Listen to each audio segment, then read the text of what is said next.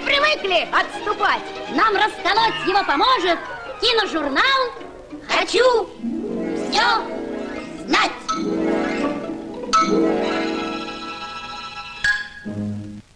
Хочу все знать, хочу все знать. Так, с чего же нам начать? Это вам не интересно.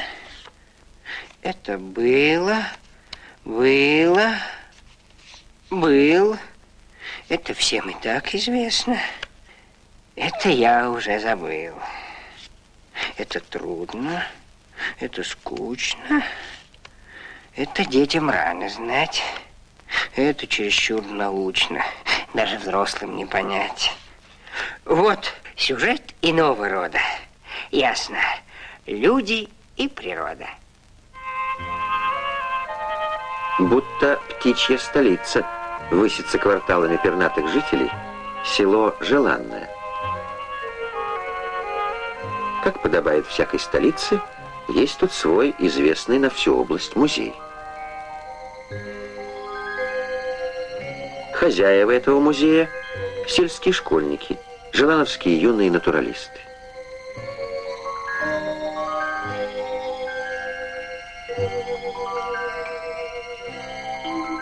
Глядите, вот мы какие, словно говорят обитатели стеклянных витрин. Печально, если вместо деревьев и птиц останутся на земле лишь такие, как мы, музейные экспонаты.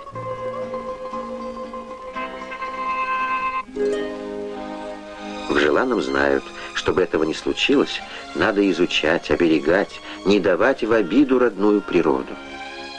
Вместе с учителем Николаем Терентьевичем Кошелевым юные натуралисты работают в школьном заказнике. Здесь заказано, то есть запрещено все, что может повредить природе.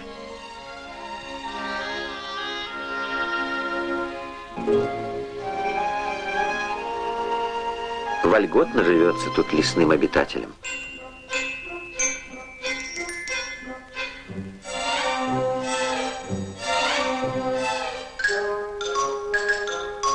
Главное в юнацкой работе желановских ребят – изучение птиц.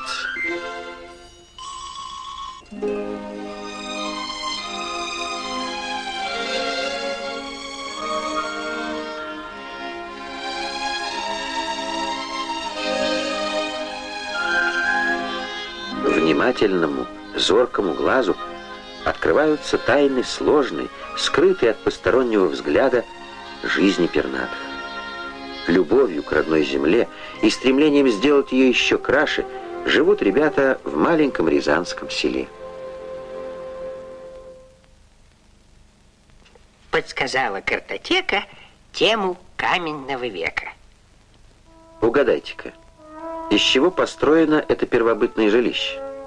Археологи недавно раскопали его остатки на Украине. Догадались?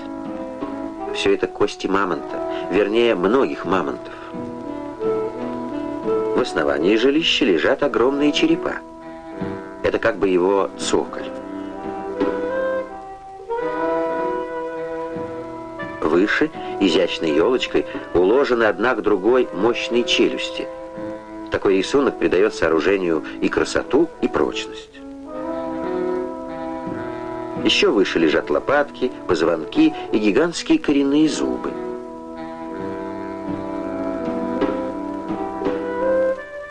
А бивни образуют арку входа.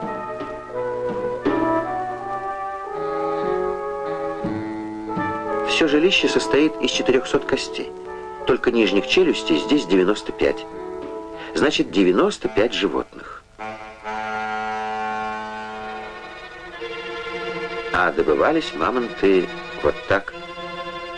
Выходит, люди каменного века были не только смелыми и сильными охотниками, но и неплохими строителями.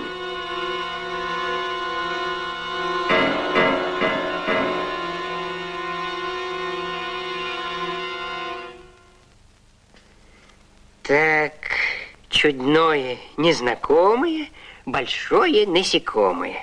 Усатый гость тропический, блаберус экзотический. Предков этого красавца привезли к нам из Южной Америки. а сам он появился на свет в Москве, в лабораторном садке с диковинными тропическими растениями. Сначала он был маленькой невзрачной личинкой. Через год личинка выросла и превратилась в нимфу, так называют эту стадию насекомых. И вот настал час последнего превращения. Смотрите, на спине у нимфы появилась трещина.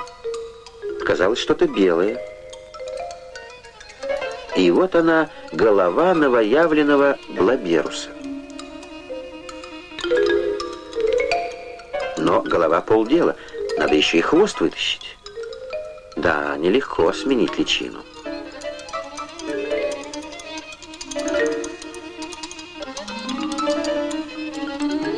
Еще одно усилие и все. Ну вот, теперь можно отдохнуть. А заодно и подрумяниться. Приобрести приличную окраску. Пожалуйста, готово. Вот так мы выглядим сверху, а так спереди. Первый завтрак. Первый туалет.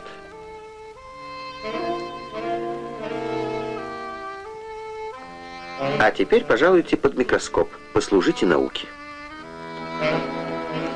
Тропический блаберус, а попросту гигантский таракан, оказался прекрасным подопытным насекомым. Его специально разводят в лабораториях для научных исследований. Вот еще загадка. Драгоценные кристаллы. Ни рубины, ни опалы, ни агаты, ни алмазы, ни гранаты, ни топазы. Камни высшей категории родились в лаборатории. Верно, в лаборатории Фиана. Так сокращенно называется Физический институт Академии наук. И потому назвали эти камни фианитами. Трудно поверить, что получены они из невзрачного порошка, окиси циркония. Чтобы превратить этот порошок в кристаллы, надо его расплавить. А плавится окись циркония при температуре около 3000 градусов. Такого жара не выдержит никакая посуда, даже тигель, сделанный из самого тугоплавкого материала. Как же быть? А вот так решили физики. Пусть сам порошок будет тиглем. И придумали вот что.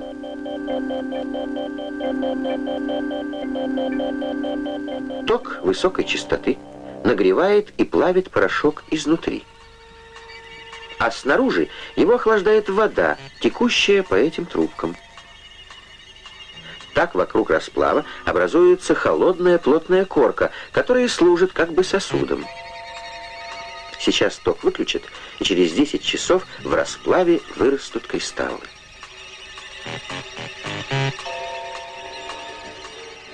Вот он, заветный куличик.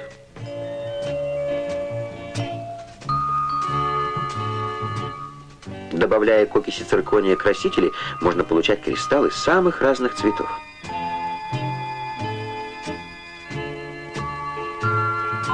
Этих самоцветов в природе не было. Они созданы человеком, и не только для украшений, конечно. Их небывалые ценнейшие свойства нужны сегодня самым новым областям современной науки и техники. Вот они какие, фианиты. Конечно, знают дети, еще не все на свете, и это очень грустно, приходится признать. Но было бы но было бы желание, придут к тебе, придут тебе и знания, за это вам ручается. Журнал «Хочу все знать»